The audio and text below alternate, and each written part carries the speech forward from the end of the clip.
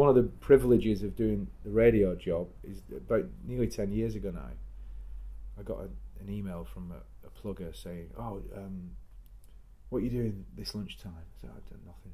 Right, you come to Hard Rock Cafe, Hyde Park, at about twelve o'clock. There'll be some free beers and that. We've got an artist on. I was like, "You had me at free beers, mate." um, so me and my producer went down there, and then we're standing around having a can ape, and uh, then the, the actor Colin Salmon walks on stage, and I'm like, "Oh, Colin Salmon, that's good, isn't it? It's a good booking. Or is he going to do an album or something?" And uh, he goes, "And uh, yes, we've got a very special guest here uh, this afternoon." And we're like, "Oh yeah, there's a band set up. It's fucking Stevie Wonder." in the Hard Rock Cafe in Hyde Park. They're, and they just performed for 45 minutes. just completely and utterly blown away.